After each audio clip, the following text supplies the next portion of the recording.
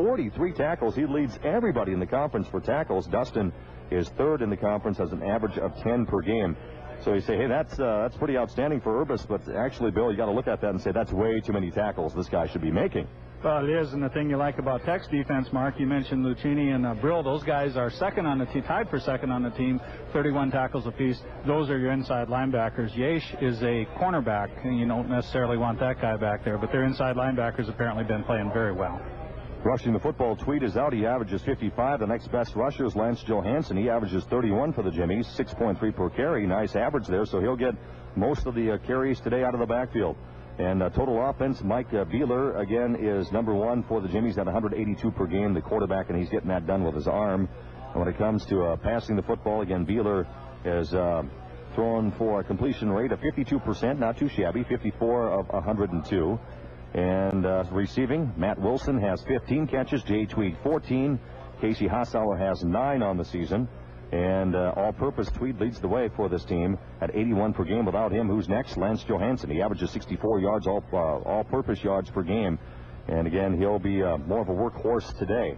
Defensive stats, Urbas has 43 tackles, Mike Sandus has 37, and Dan Fiala, who's been filling in for the injured linebacker for the uh, Jimmy's, uh, Fiala getting starts because Westbrook is out, and he's third on the team in tackles with 33.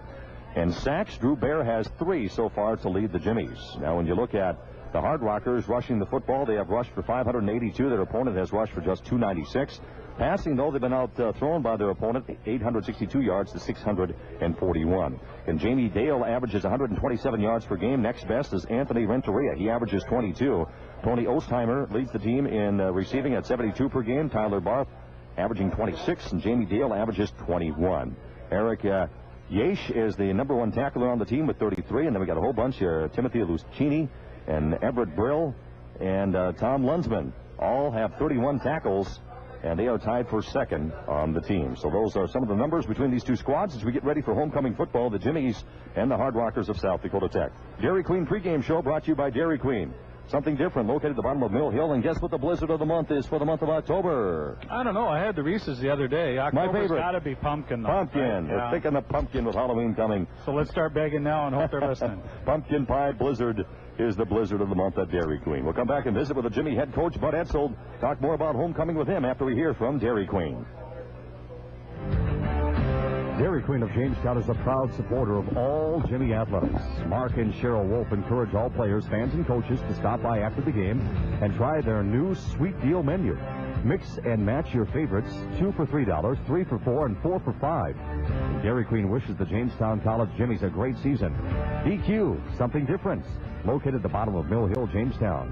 A proud supporter of Jimmy Athletics. Misrolled the interview there.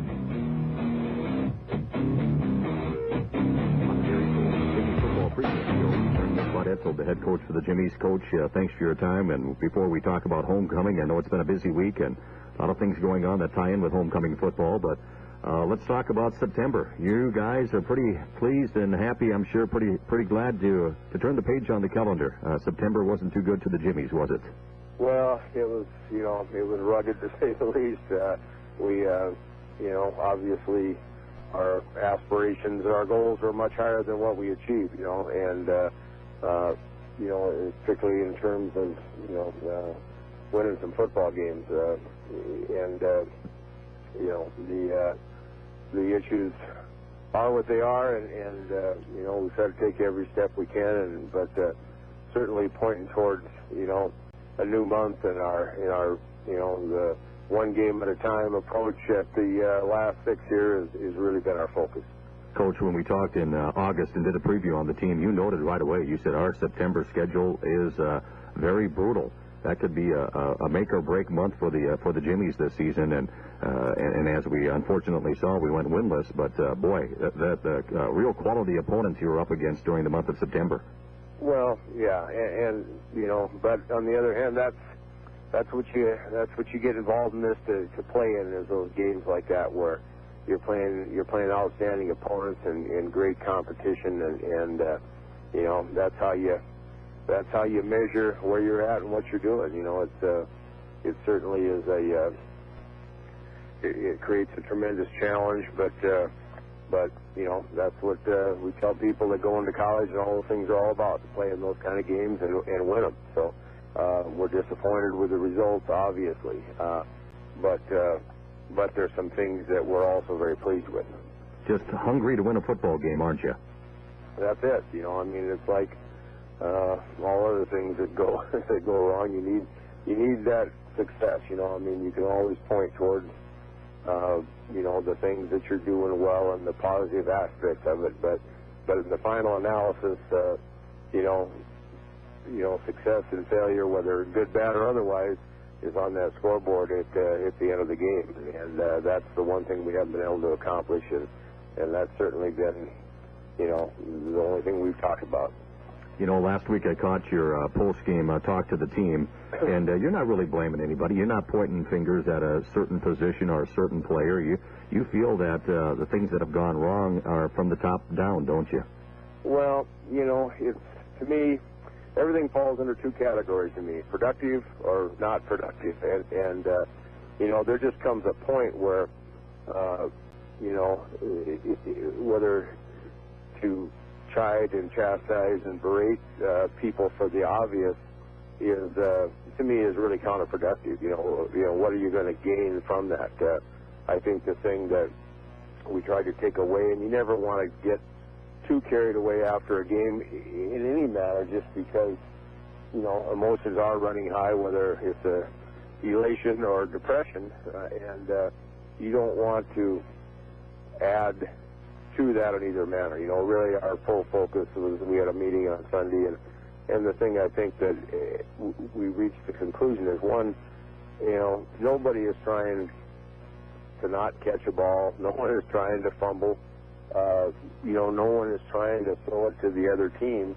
Uh, the fact of the matter is, is you know, with with young guys and even with older guys, you watch every game you watch on TV. I mean, it's more a mindset that you know you want them to be aggressive and you want them to try to get that extra inch. That's football's a realistic game, but you also have to understand the risk and reward and protecting the ball in piles and and that to our receivers, hey, catching it and falling down is still a good play. Uh, to our quarterback not feel like you've got to take the whole weight of the world in your shoulders and try to stick something in when it isn't there, or you know, or try to be too perfect with everything. And so it's a fine line you walk, you know, and uh, uh, you know, trying to take to move forward, work on the issues uh, has really been what we've tried to get involved with and, and focus on more.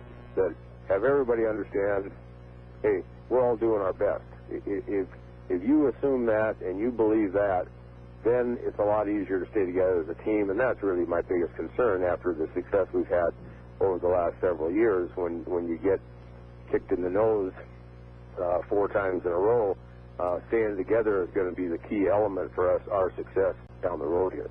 Bud Etzel on the Jimmy Football pregame show brought to you by Dairy Queen, DQ something different, the bottom of Mill Hill, Jamestown. Uh, Bud, uh, the schedule doesn't get any easier as we head to uh, October.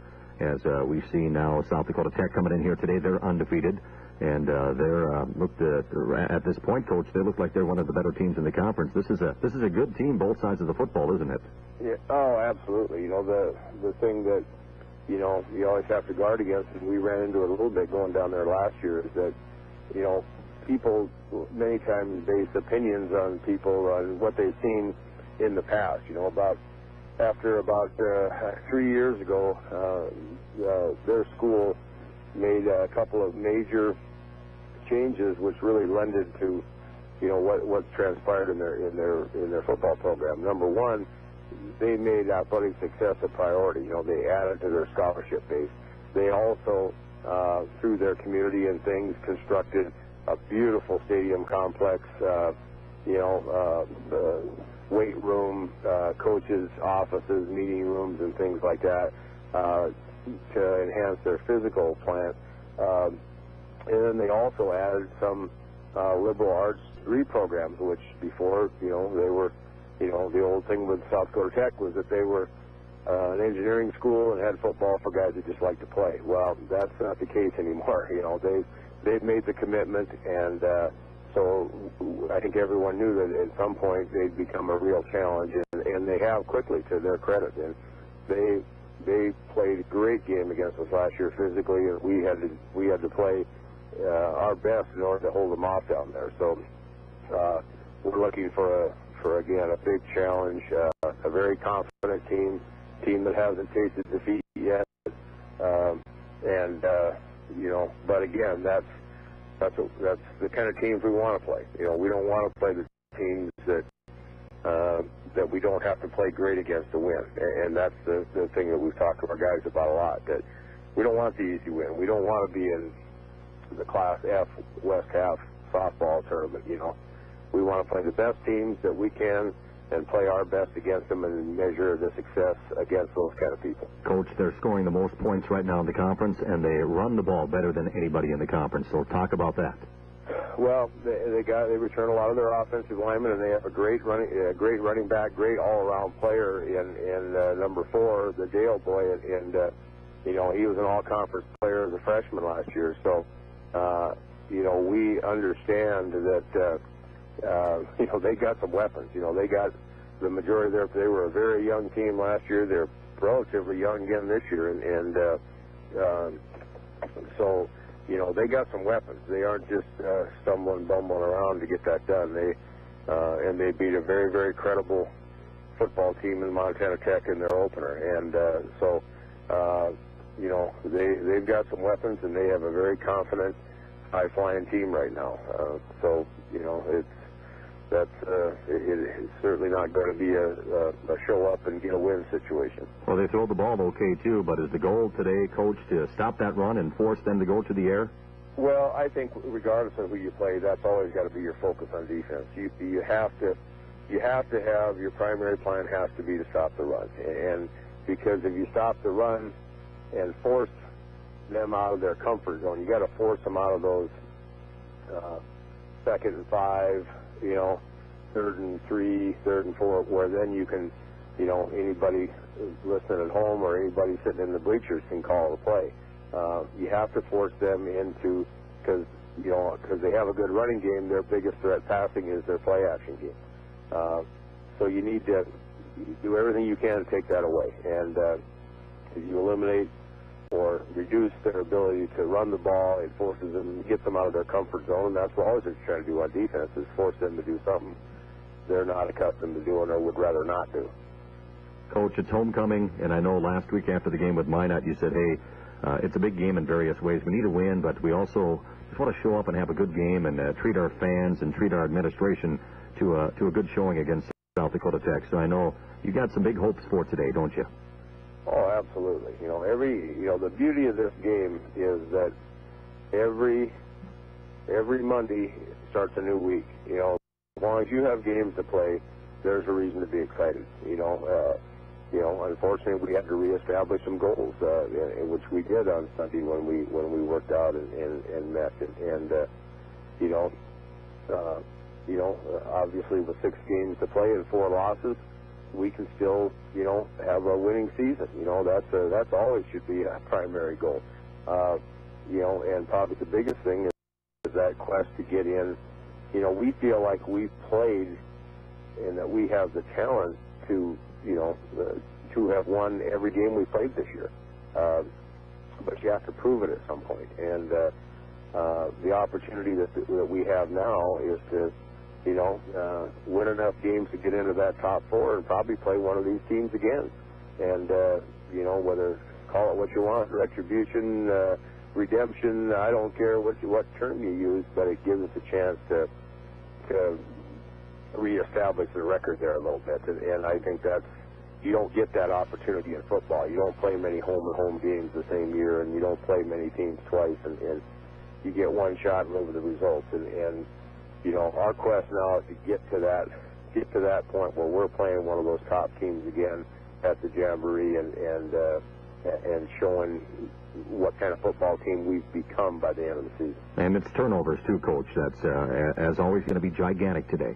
Well, yeah, my goodness. You know, we we've you know, unfortunately, it, you know, we had we had a, a two or three when we talked. You know, a couple weeks ago, we had some other issues that I think our guys uh, have taken great steps, the staff and the guy and the and the players, uh, and we've eliminated some of those other things. And uh, but it's obvious. Uh, it's, you just cannot give a good team the ball uh, on a number of occasions and expect to be successful. You know, it's got to be a, a conscious thing where you know we have gotten to the point now where ball security has it does trump looking for the big play or the big thing or you know the extra yard. You know, hanging on to the ball is more critical than anything to us right now, and, and there's just no mistaking it, no. Uh, you know, excusing it, no looking by it. It's just as simple as that. We have to not only not turn the ball over, but we have to catch the ball. You know, I mean,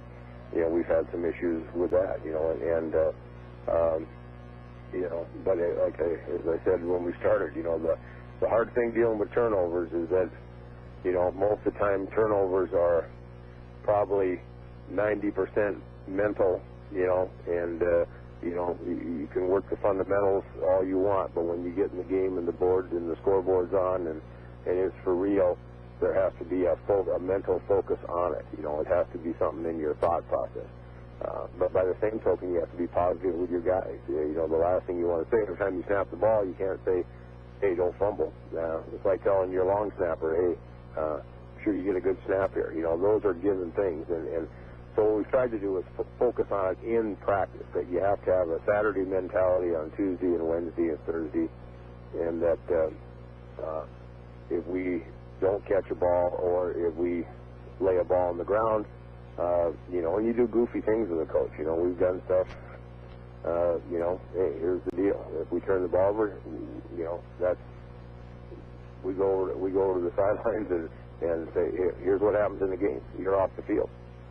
You're off the field, and uh, these next four players in the script, we're not running because you forfeited your chance to run them because we turned the ball over or we didn't catch the ball. We didn't catch that third and three pass.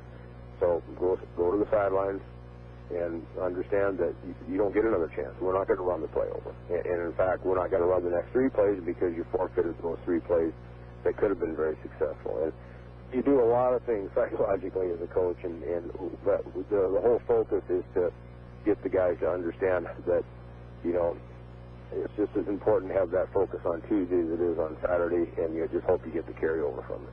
All right, Coach. We wish you luck, and we'll talk to you after the game. Well, we're still excited about this team, Mark, and, and uh, we got some great young players, and, and uh, you know we're just we're going forward. You know, there's no there isn't any time to to lament what has happened. Uh, we we got to push forward, and you know you know when you said you try to establish values with young men, uh, you got to live them yourself. Uh, and our first value is it's not all about me, and it's not all about each of them individual. It's about all of us, and we're gonna we're gonna sink or swim together. And today we're planning on swimming. All right, Coach. Good luck. Thanks a lot, Mark. All right, that's about Etzel on the pregame show brought to you by Dairy Queen. DQ something different. Located at the bottom of Mill Hill. The Jimmies will kick off and kick it south. And uh, the uh, Tech uh, Hard Rockers will receive on the south end and head to the north. And got a cloudy sky. Temperatures today are expected to be around 50 degrees. Not a whole lot of a wind today, but right now it is at the back of uh, Nygaard as he's got it teed up at his 20-yard line.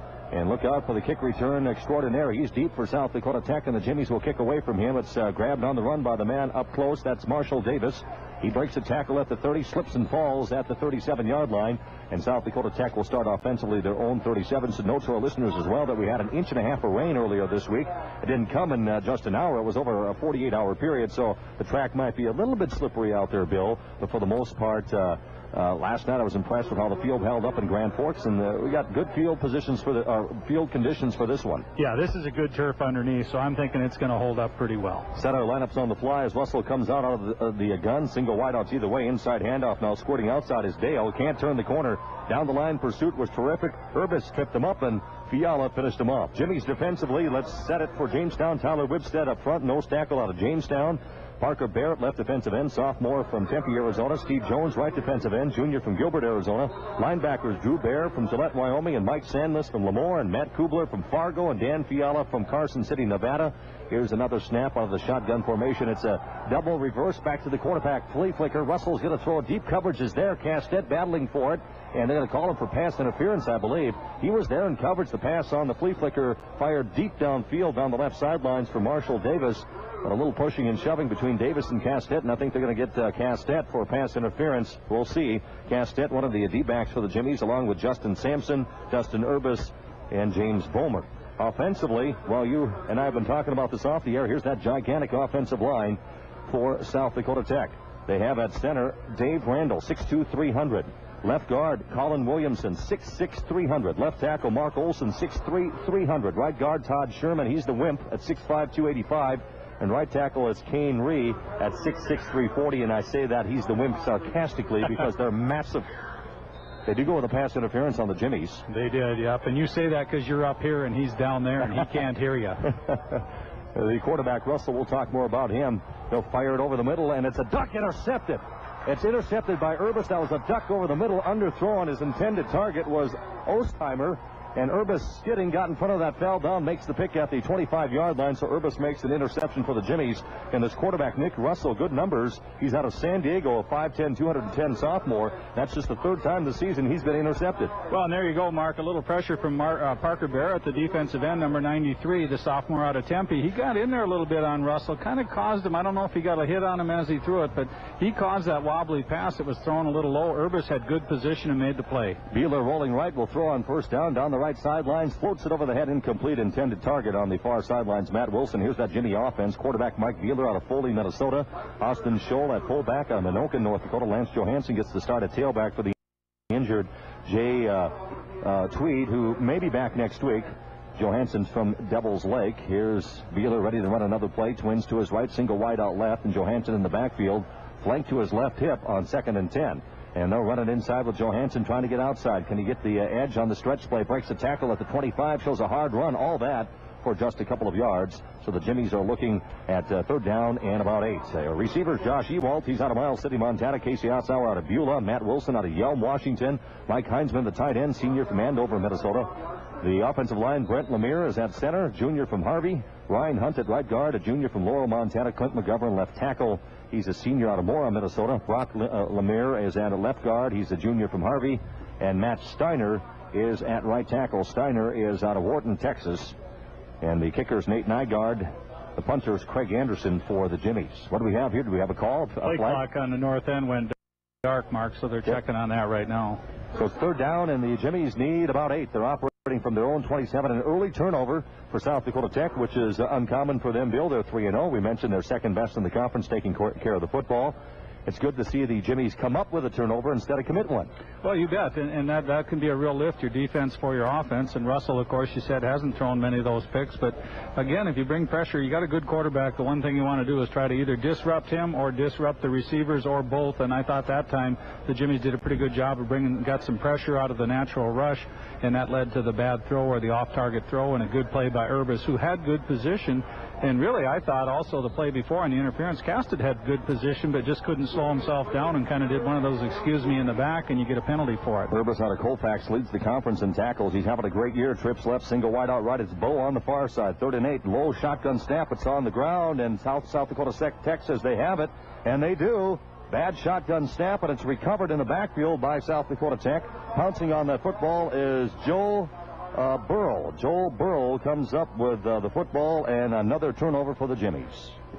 Yeah, that's uh, just one of those deals, and I, I do see some slipping out there. I noticed a few of the Tech guys coming out of their stances; they just didn't get it. And I also think we had some problems with Beeler once he had to go forward to get the ball. He didn't get going forward in time to get down on it. So Burrow comes up with a fumble recovery, and out of the shotgun, here's Russell. They'll set up a bubble screen, left flat, caught by Ostheimer.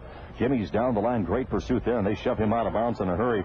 Breaking through tackles, Drew Bear. Minimal gain, about a yard is all on that little bubble screen left side of the field. We're just underway. Each team has committed a turnover. Tech's second possession now, and they take over near the Jimmy red zone at the 21-yard line. I think we're going to check on Burrow to see if that isn't Luchini, number 49 in the roster. 41. He's listed as 41 on the depth chart, so we'll double check that. Okay, toss sweep coming around the right side. It's Dale, and he can't find the edge. He'll cut back inside, and he's wrapped up in a hurry and brought down. There for Jamestown is the linebacker, Gareth Ives. Dale just ducked his head and said, all right, I'm going to just lower the pads and see how much uh, I can uh, sneak through this big pile of players. Picked up a couple, got to the 19-yard line, so Jimmy defense has been tough up front so far. Third down and about seven for uh, the South Dakota Tech hard, hard Rockers at the Jimmy 19-yard line. Gain will go for just a yard. Twins left from the shotgun. Here's Russell. Nick is a 5'10", 210-pound uh, sophomore out of San Diego. Shotgun snap, a good one. He's got a pocket. He'll fire underneath. Got his man. Bielstein over the middle. Bielstein inside the 10, and he's dropped at the nine-yard line. First and goal coming up for the Hard Rockers. Urbis on the tackle. Fiala also there for Jamestown on the tackle. James Vollmer. Uh, it's just a little drag across. They showed two receivers left that time and just went to the backside on that crossing route, and it was open underneath because what you really had is a pretty good athlete running against a linebacker, and typically offense, especially if there's a little question on footing, offense is going to have the advantage out there when it's one-on-one. Tech's going to stay with the spread here. They also spread things out, go no huddle, single wideouts either way. Two tight ends now from the gun, and it's a handoff inside. And Dale trying to come right up the middle, not much. And he ran to that Jimmy interior defensive line and got about a yard on forward progress at best. And Jones was there for the Jimmies to lead that charge. Castet pounced in there as well. No gain on the play. Second goal at the nine. Well, and this is one of those situations, Mark, where as a defense you just line up and you say three is all they're going to get. You know, you got to be tough between the tackles, but and we mentioned the pocket passing type of thing, so you look for those slants and fades, kind of the Jordan Piotz version like last night. Dale in the backfield under center Russell. He'll give it to Dale. Stretch play coming left. Can't find any room back inside to the six, and he's crunched there. Ran back inside and was greeted by Tyler Wibstead. Forward progress about a yard, so it is third and goal. Ball is right around the six-yard line of the Jimmies. Each team with an early turnover in the first couple of minutes of the football game. That was a good job by one of my Gilbert guys that time, Jonesy. Steve Jones, the defensive end, broke in quick, kind of out of control, but he really got off the football well, broke that thing up, kind of wrecked the timing, if you will, and then the pursuit led by Wibstead kind of cleaned up. Five touchdowns, three picks now for Russell, picked off early in this one, and he averages 200 yards a game through the air. Third and goal. Ball is at the seven-yard line. Russell goes to the gun. He's got twins left. Jimmy's offside. Free play. Snap over the head of Russell. He'll fall on it. No, now he overran it. It's still loose. And the Jimmies fall on it at the 29-yard line. But it's not going to hold up. Fumble recovery made by Parker Barrett. Russell fell on it. It popped out. Then Barrett fell on it at the 30-yard line. But for the Jimmies, offside on the right side, I think it was uh, for Jamestown College coming across too soon, was Drew Bear. Yeah, he, the Jimmy's definitely jumped over on the far side. And that's just, boy, weren't we talking just in the pregame about, you know, when you have your penalties, or I guess we were talking turnovers, but here's a penalty at what an inopportune time because it had nothing to do with the play. It had absolutely nothing to do with it, but the Jimmys were offside. You get a bad snap, you get a break, you get a recovery, and all for naught. All the way, that ball squirted back to the 30, but the play will not stand. We'll do it over. Offside on Jamestown, half the distance. So it's third and goal, and the ball is now right around the five-yard line for South Dakota Tech. They're unbeaten at 3 0. Jamestown sports a record of 0 4 coming into this homecoming football game for the Jimmies. Jimmies in all black today, jerseys and pants, orange helmet. Tech's got on the gold helmets, the white jerseys, and the navy blue pants. Under center is Russell. On third and goal, just inside the five. Play action fake. He's rolling right, looking end zone, still rolling. Throws for the back of the end zone and out the back of the end zone. Great coverage. Jimmy's did not bite on the play action fake. The pass in the back of the end zone for Everett Brill. Way over his head, incomplete. So let's see if Tech will try an early field goal in this one. Well, that time they went with the two wideouts left again. The tight end was on the right side, Bielstein. They ran, uh, they lined up a guy by the name of Zach Looney, wears number 74 in the backfield to the right side, and a broken eye, six foot 270. So now you got about 2,000 pounds of guys there. Tried to go with a play action, but it was defended very well by the Jimmies on the near side. Andy Smith, the kicker, 13 for 13 extra points, 5 for 7 kicking field goals, and he's from Naples, Florida. And he'll try one from 21. Right footed sidewinders ready. Snap, good placement, good kick is up. And it is good. And South Dakota Tech takes advantage of the early Jimmy fumble and takes a 3 0 lead with 10.47 to go in the first quarter. We'll have the kickoff in 30 seconds on your Jimmy Football Connection, 1400 KQDJ Jamestown.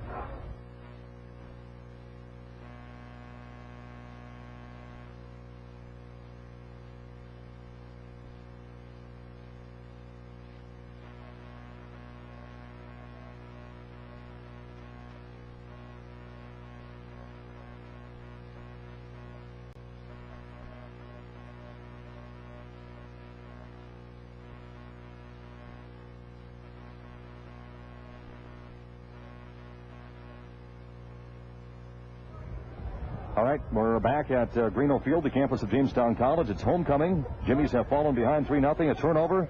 Andy Smith then hits a 21 yard field goal. Good job by the defense.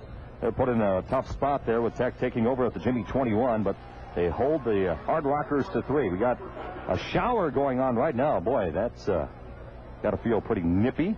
Here's the kickoff by Smith. High and short into that north wind. Grabbed on the run by Ewald at the 25 30. 35 40. Finds a crack, and he's out to the 42 yard line. Little seam in there.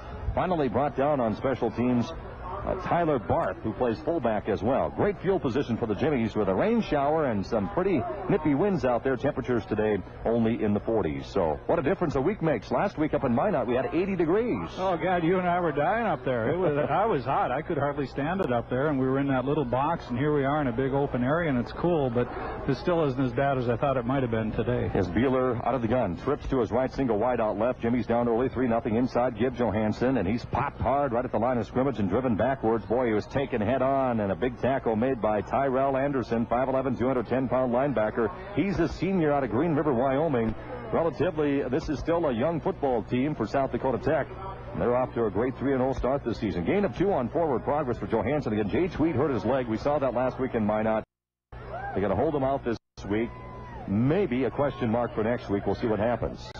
For Jay Tweed leads the team in rushing and also receiving yardage, all-purpose yardage. Trips to the right, Beeler looking right on second and seven. He'll step up in the pocket, great protection. Fires it deep. He's got a man out there and overshot him. Hassauer got behind the D-backs. That was really a broken play, so Hassauer just said, the heck with it. I'm going to go deep. You got plenty of protection. The old throw it long, the home run ball, but it sailed incomplete. A bit of a wind at the back of Beeler right now. So it is third down. The Jimmy still need about eight. What a great pocket he had. He did. He had good time. There was good coverage down there. But as you said, after he broke the pocket, Hausauer was streaking deep. I thought he was going to keep going, but Casey broke the route off just about the time that Beeler threw the football. As a result, it was really a better thrown ball than it looked. Trips right, single wide out left, Bow on the near side. Ewald, Wilson, Hausauer all on the far side. Third and eight, shotgun snap, a good one. Four man rush, good blocking. Beeler throws a wobbly pass, caught behind the D-backs. It's Wilson. He caught it at the 25, got to the 20. Boy, that was kind of a wobbly duck, but it got through some traffic. And in stride, Ewald caught it, and he was caught from behind finally and dragged down. A touchdown saving tackle made by the Hard Rockers, Tom Lunsman. Well, it wasn't a pretty tight spiral, but it was sure a good touchstone with some authority, too, because that ball traveled down the field. They're going to spot it at the 20. 35 yard pickup. Into the red zone come the Jimmies down early 3 0, but on the move. Trips left for Beeler. Single wide out right. Three man front right now for the Hard Rockers in the backfield out of the shotgun formation. Flank to the right of Beeler is the freshman running back Johansson. Low snap again. The Beeler digs it out, looking left, looks over the middle. He got a man wide open. Ewald. Touchdown, Jimmies. Ewald got in the end zone, ran a little skinny post. Nobody picked him up. Beeler had all day to throw. Touchdown. Rather, Matt Wilson. Matt Wilson on the touchdown catch. And he got behind everybody, and the pass protection was fantastic. Yeah, you bet. Good protection, and I can't say enough about Mike Beeler after the frustration of last week. You know, his Dauber was down a little bit, but he comes right back and makes two great throws on it. Good protection up front. Tech Mark has been pretty vanilla on defense in that three-man front. You're seeing three men, four backers, and then the three deep, and they're just kind of vanilla out there, and the Jimmy's taking advantage of it without any pressure. Well, that didn't take long. Four plays. It covers 58 yards, and Nygaard nails the point after. Jamestown leads 7 to 3. And we've only played five and a half minutes off to a quick start in this one. The kickoff in 30 seconds on your Jimmy Football Connection. 1400 KQDJ Jamestown. Apologies. Since 1954, Lloyd's Toyota has been providing Central North Dakota with professional service and excellent customer care. Whether you're shopping for a new Toyota or a good or used late model vehicle, you can be assured that you'll be treated with respect and offered the best deal possible. And don't forget their award-winning parts and service department, offering four-wheel alignments, air conditioning service, tire sales, tune-ups, and AstroStart sales and installation. Call 252-4690. Stop by on the road to the Buffalo in Jamestown or visit Lloyd'sToyota.com.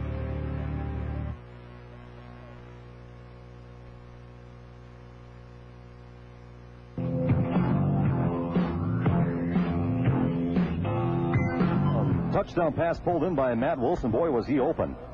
Just kind of ran a skinny post. And nobody stayed with him. Nygaard's kickoff, and it's a bad one. It hits at the 25 and goes out of bounds. He hooked that one badly. So Tech will have good field position. And uh, touchdown for the Jimmies to come right back after an early turnover made it 3 0. Beeler hooks up, wide open receiver in the end zone. Matt Wilson, he's out of Yelm, Washington. Matt, 6'2, sophomore at 210. Understand his brother Tyler is also a Jamestown College student. Is currently serving our country. He's overseas fighting in the war. So Tyler, maybe you're latched into the uh, webcast. Thanks for all you do for our freedom, and you're pretty happy about your brother making a touchdown catch, I bet.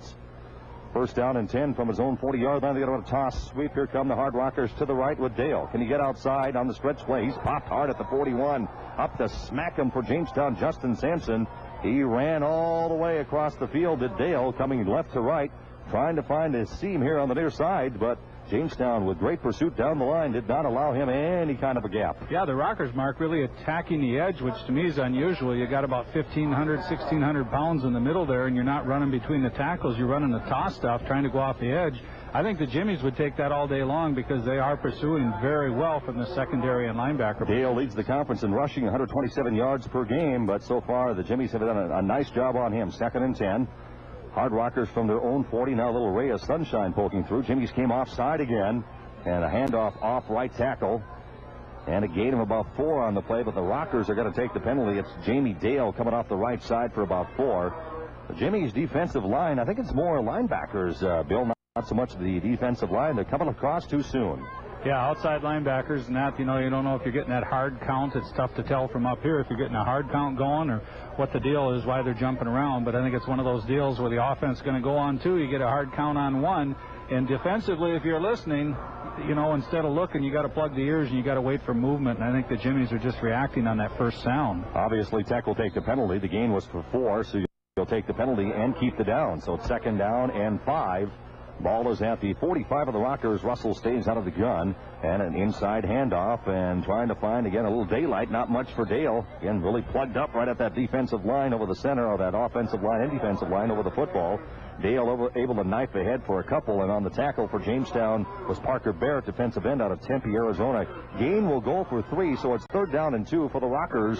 Just shy of the midfield stripe, the 50-yard line will be a first down. Well, the difference between the two defenses, they're both a three-man front, but you'll see the Jimmies bring their outside backers up to the line of scrimmage. Back in my day, we called this a 5-2. Russell will stay with the gun. Third and two. Shotgun snap on the money. Pass caught on the near side flat. Coming down the sidelines to the 45 of the Jimmies off the catch. The fullback, Tyler Barth. He picks up seven and a first down. Took a good hit as well. Urbis was there. Sampson also in the mix for Jamestown. Tyler Keenan. Well, nice job by Russell and the offensive line that time. The Jimmies brought the blitz up the middle with the inside linebacker and the two outside guys.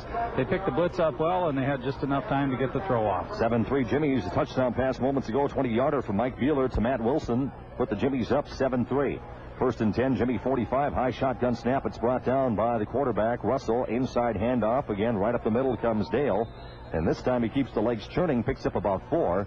And Urbis, bottom of that pile for Jamestown. Also there for the tackle, Mike Sandus out of Lemoore, the junior, 6'2", 210. Gain of three. Yeah, Dale not real big, 5'9", 180. But I'll tell you what, Urbis hit him, and Dale just kept the legs going. But he didn't get anywhere. When Urbis hits you, you're pretty much stuck out there. Second down and seven. The ball is at the 42 of Jamestown, headed to the north. Left to right on your radio dial, South Dakota Tech. They go with the no huddle. Twins left. And it's a double tight end formation. Shotgun snap to Russell. He's got protection. Now he's flushed and he runs right into the Jimmy's defensive end, Parker Barrett, who sacks him back at the 49-yard line, but he was flushed on the far side, the blind side, by Kurt Holinka, I believe. Yeah, that might have been also uh, Drew Bear coming in from that far side in 91, Holinka. They did the job from the right side, kind of pushed in this direction, and Parker Barrett just kind of stuck a nose uh, nose right into the uh, the rib cage of the of the quarterback on that time. Negative seven, back to the 48-yard line. It's third down, about 13 for the Rockers. Single wideouts either way, and Russell will stay with the gun in the backfield. He has flanked to his left. Jamie Dale, and look out for him. They'll loop out of the backfield and make catches as well. Russell has a good shotgun snap this time. He comes underneath, crossing pattern, and drop. Good throw in stride. He had his target, but Andrew Isom dropped the football at the Jimmy 35-yard line. The coverage was pretty tight, but that was catchable. Yeah, that was, and that might have been 88 instead of 89. I think it is 88 is Daniels, but he just ran that short post, and the ball was on the money, and that's when you expect your receiver to fight for and, and come down with it. But it, it, looked to me like it went through his hands into the pads and down. So 88 is playing. I took it as 89. I was told 88 was a scratch prior to the game. Unless it's Ism in the uh, different shirt. Here's the punt. First punt of the game for the Rockers. Colton Jeldon, who's the transfer from Wyoming. Caught by Johansson, trying to reverse his field, goes to the right, 20-25, and special teams coverage pretty good for the Hard Rockers. Not much on the return. Jimmy started at their 25-yard line, and down there for South Dakota Tech, Jonathan uh, Tristeo. And Tristeo is listed as a tight end sophomore out of Hilmar, California. Well, 6:09 to go in the first. Mark seven to three. Jimmy lead. You got the football back at your own 25. That last drive, as you kind of alluded to, what was with just four plays, seemed a little too easy. So now you got to come out, and if it's easy, great. But if it's not, see if you can grind something out and establish a little bit of swagger with the Jimmy offense. Well, Beeler threw a touchdown pass to Wilson. Last time the Jimmies had the ball, they covered 20 yards. Trips left, Twins right, spread offense, five receiver formation, three man front for Tech, and they show a blitzing linebacker. They back off. Underneath it comes. Quick pass over the middle. Caught by the Jimmies at the 30 yard line. Quick little curl route there. And hauling that one in was Max Bull. Bull picks up five, maybe six. Just a safe little, little little curl on that uh, right hash mark. Jimmies will run another play real quick. Second down and about four operating from their own 31. Headed to the south, right to left. It's Beeler in the Jimmy offense. The junior college transfer out of Foley, Minnesota says he's ready. And it's a quarterback draw. 30 to the 32, not much. Maybe a yard. And he ran right into the uh, the big linebacker who makes the tackle. That's Andrew Izum, who I just listed as making a reception moments ago. Izum makes the tackle. Yeah, and that, that was just a blitz. That's the first time I've seen blitz. Luchini went on the other side, and, and Beeler fortunately did not run the draw into him. He ran away, but he still got stuck pretty good. Third and two from the gun is Beeler.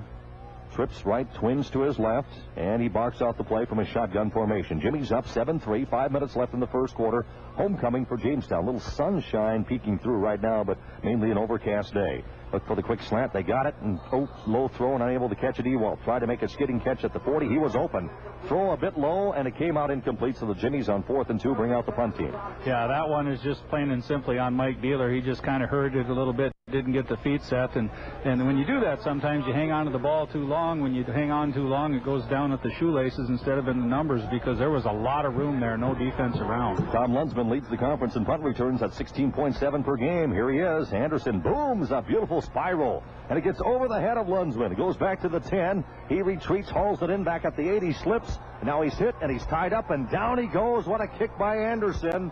And on special teams for Jamestown on the tackle is Reed Hogginson, or Hoganson rather, Reed Hoganson. He's out of Leeds, North Dakota. He got down there first. That's going to be a 60-yarder mark. I think it rolled down to about the seven, so if you put you go uh, 43 there and another 17, the ball was spotted on the 33, and then you think he was back another 10 yards. That was a beautiful kick. That's I think that's the best Jimmy punt we've seen in a heck of a long time. It was a perfect spiral. It had good hang time and it had some distance. Now you want Lunsman was hanging out around the 30. All of a sudden that went over his head. He turned tail and he couldn't get there. Finally tracked it down and then he was surrounded from the goal line out of his own end zone. Here's Russell ready to operate the offense out of the shotgun. Inside handoff to Barth. That's his first carry, and he dives ahead to the 10, picks up a yard, maybe two. Running game so far has been uh, pretty tough for Tech. They lead the conference in rushing, but the Jimmies really plugging things up. Fiala in on the tackle. Well, that time they did attack up the middle, but as you said, the Jimmies stuffed it pretty good with their inside backers and also uh, Wibstead at the nose that time, being given some resistance. But the Rockers on offense, pretty tight splits. When they do run up the middle, they don't really create much of a lane to run. If you widen them out a little bit, you give Dale a little more room to slither through. Russell under center. Dale the lone setback. Twins left. Toss sweep coming left with Dale. Urbis is there, makes him come back inside, and now he's whacked hard. Urbis made him come inside. Robert Nelson, the linebacker, nails him right around the 10 yard line. Gain of uh, just a yard on the play. So it is third down and about seven. The Jimmies, like you said, uh, Tech has run that stretch play quite often. The Jimmies so far have forced most of the running backs for Tech to come back inside, unable to get the edge. You bet, and, and it seems to be what Tech likes to do. Of course, we don't scout them or anything, but short splits, trying to get the defense in nice and tight to the center, and then try to toss the ball to Dale and try to get the edge for him. The Jimmies defended well so far. Twins either way on third and seven, and Russell shotgun snap at the five. Flags are down. I think the Jimmies came across offside again. Here's a quick out caught by Ostheimer. And he finds the first down marker, and he's chased out of bounds around the 20-yard line, the 19. That'll be enough for a first down, but I think Jamestown offside for the third time in the game. That's the case. The Rockers will decline, and they'll take the gain on the play, which is good for a first down, a pickup of eights. Yeah, the preliminary signal from the headlinesman over on the far side was offside Jimmy's, and of course, Russell's telling the official, never mind, we'll take it up at the 19 instead of at the 16, and we'll take our first down. First down for the Rockers that started at their own seven off a great punt by Anderson of Jamestown. And then a first down for the Rockers through the air. Clock is down to 3.21 to go in the first quarter. Jamestown on top, 7 to 3 on a Beeler 20 yard touchdown pass as he hooked up with Wilson. Twins either way from the shotgun formation. Here is Russell. Good snap, good protection. Now he's flushed, rolling right, and he finds on a quick out at the 25-yard line, kind of checked down and find on the near sidelines Tony Ostheimer. Ostheimer, minimal gain, got about three, maybe four, and uh, there for Jamestown was Nelson. Yeah, and Sampson also from the corner did a good job. Is really, I think Russell wanted to throw a little earlier, but the nose guard that time, Wibstead, got in there, almost got to him, got the hand up, made him pull it back down, then he fired it a half second later, and by that time, pretty good recovery by the secondary of the Jimmies. What a rapidly moving first quarter. We're down to 240 left. Jimmy's ahead 7-3. Trips left now for Russell. He'll get under center. Fake handoff to Barth, rolling left play action, looking downfield. Sets, can't throw, and he's sacked. He's hammered back at the 19-yard uh, line, and the ball came up, but the officials are going to say that he was down on the sack for Jamestown, Robert Nelson. Yeah, Nelson came pursuing from the stunt that time, came all the way from his inside linebacker spot to turn it down.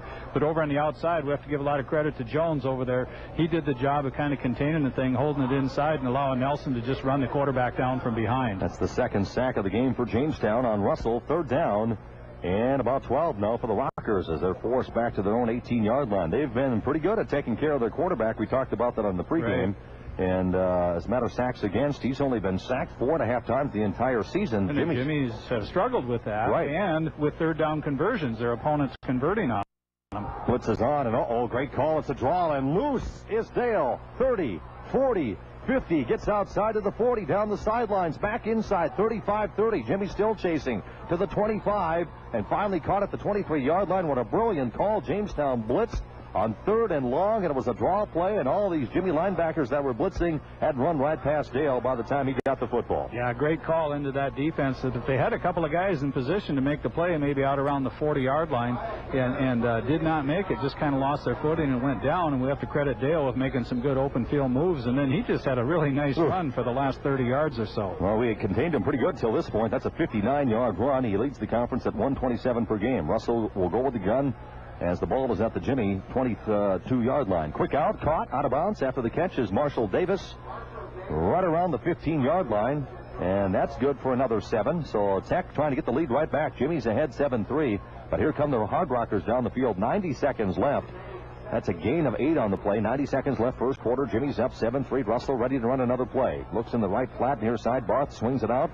He's to the 10, inside the 10. Breaks a tackle at the 5. Still going. Gets to the 1. Boy, a tough run after the catch there. Finally brought down by the Jimmy's Tyler Keenan right around the two-yard line. They'll say his knee went down. First and goal for the Rockers. Yeah, this just hasn't been a real good series, Mark, for the Jimmy defense in terms of really uh, assignments, first of all, but especially the tackling thing, getting broken down and making the play. There's been some missed tackles, and they've led to some really big Hard Rocker plays. Well, the good news here, Dale's off the field. He's still winded after that long run. Got the big guys in there right now. Kind of the old jumbo package here. Huh? They're going to run behind him. Gibb coming off the right side. Not much there for Everett Brill. He is driven backwards, and he was taken head on by Sandness. Jones was there as well. No gain, and lost a couple of yards on the play, as a matter of fact. Tenth play of the drive coming up. This started at the uh, Hard Rocker 7 off the great punt by Anderson. We're down to 50 seconds left in the first quarter. 7-3 Jimmy's. Tech ready to run another play. Jumbos are going to leave. Looney, 74, is a 270-pound. He comes in as a blocking back. And then Brill, of course, is the inside linebacker. He's at 220, who carried the ball that time. From the shotgun, here is uh, Russell. He's got single wideouts either way. High snap brings it down. Inside handoff, crossing the five, getting to the four-yard line. Rajo, I believe, got the carry, his first of the game for South Dakota. Set Up the side, and he swung down the yard line. Grabbed from behind by the Jimmies. Got air hug by Drew Bear. He brings him down to the touchdown. Fourth and goal four. Very fast, rapidly moving football game so far. The Jimmies have 7-3 after 15 minutes. Homecoming for the Jimmies. We'll come back with a kick, uh, or rather with the uh, second quarter in 30 seconds on KQDJ Jamestown.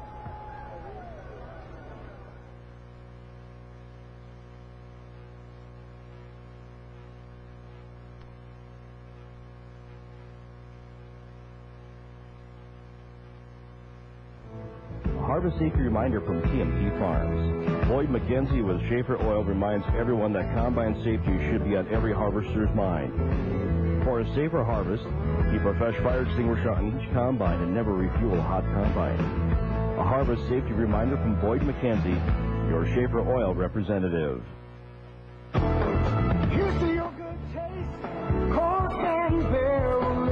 Here's to your good taste, cork and barrel liquor. Here's Scott Liquors, Jamestown. Scott, a lot going on this weekend. Yeah, there is. Hey, college homecoming in town. Be a lot of people. We got non-resident waterfall opening up. We got antelope opening out west, I believe. So a lot of hunting seasons open, and football's in full swing. And hey, we got Packer Vikings.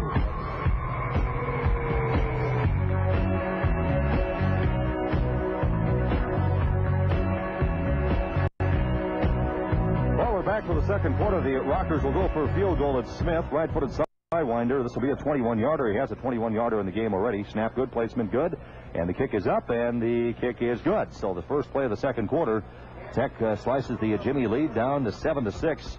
They got as far as the five-yard line. They started at their own seven. In 11 plays, they move it into field goal position. So the field goal is good from 21 yards out for Smith, his second 21-yard field goal of the game. We'll come back for the kickoff in 30 seconds on 1400 KQDJ Jamestown, your Jimmy Football Connection.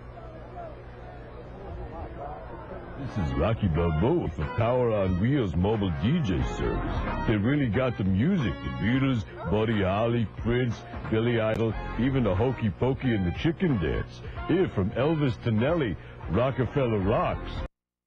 You're a bum, Rocky, but the power on wheels rocks. If you're planning a party, a wedding, or reunion, I recommend you call Jason Rockefeller, 490-1878, 490-1878, or go on the web at thepoweronwheels.com. Joe Nathan. For three decades, Twins fans have watched baseball.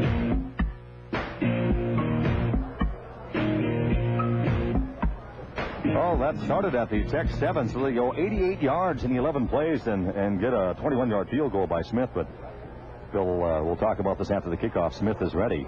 Boy, these uh, these guys must have uh, dinner appointments or something. They're not giving us any time to hardly talk in this football game outside of the plays. There's a big return coming up the left sidelines and down the sidelines. Loose is Ewald. 50, 40 to the 30, to the 20, to the 10, and he goes all the way. It looked kind of harmless when he fielded that football way back here at the 20-yard line. But he found a seam, bounced outside, got the Tech sideline at the 40, and he's gone for a touchdown, and the Jimmies extend the lead.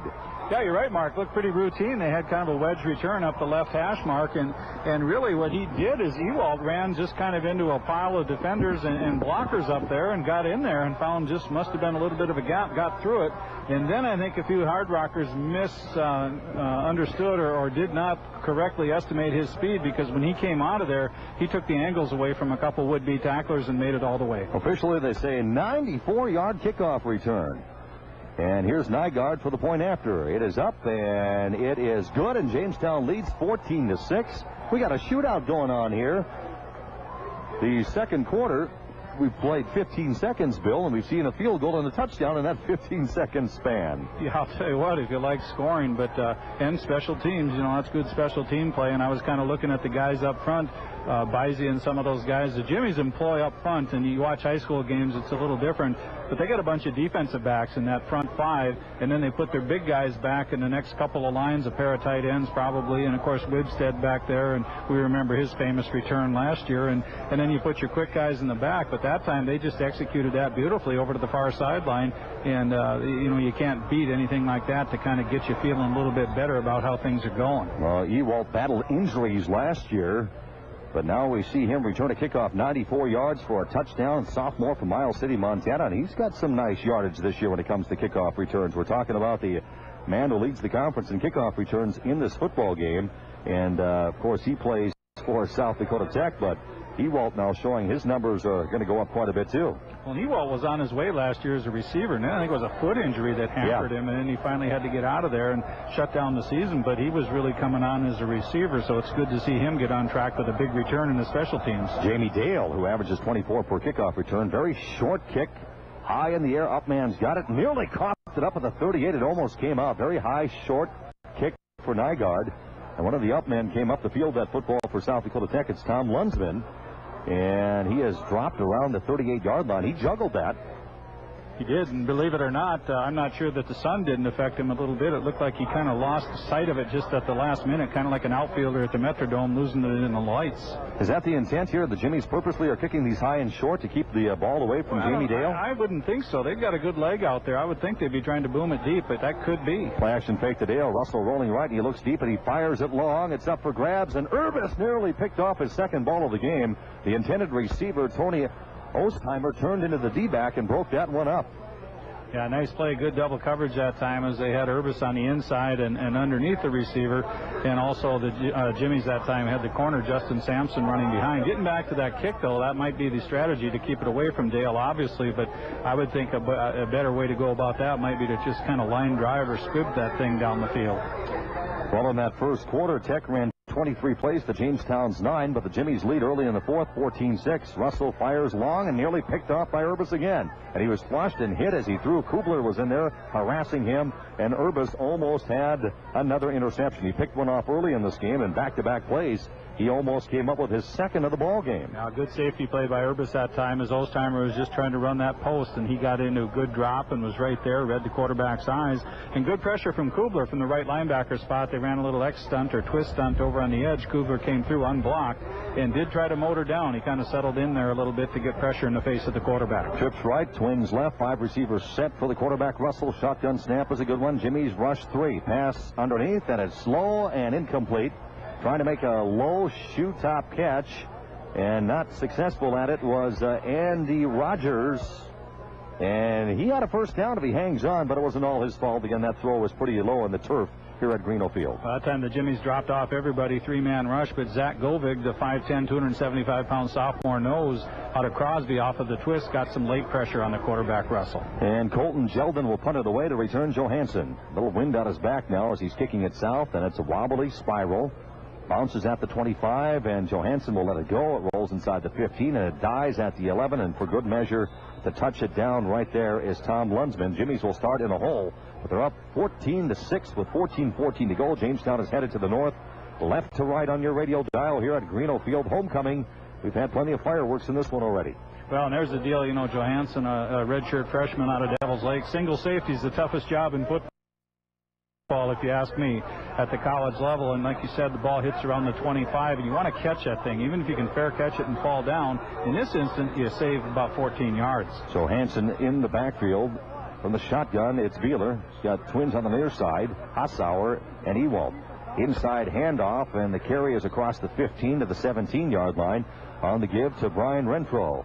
I believe, is that 28? Did I catch that number right? 28. Renfro, yeah. And Renfro is listed as a D-back, but the senior out of Las Vegas gets a handoff. And he finds some room up the middle. He picks up five on the play. And Beeler will get under center with twins to the right, single wide out left. Second down and four for Jamestown operating deep at its own end at its 16. It's Renfro again. Nope, they fake it to Renfro. Here's the pitch and trying to turn the corner. Not much luck there for Johansson. Gang tackled as he fought to get to the line of scrimmage.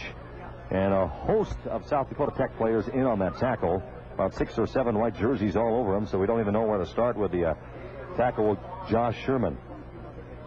Okay, we have a, a, different, we have a number change? Uh, Midhaugen is 28. There's duplicate numbers there. I just checked with Tracy Erickson on that. He is a 6'1", 195-pound freshman running back out of Fergus Falls, Minnesota. That's Matt Midhaugen. Midhaugen, okay. So we're so seeing some depth this week with the injury to Jay Tweed. And Midhaugen, by the way, is a true freshman a true freshman on the field today. So Bud Etzel did tell me yesterday he may see some time.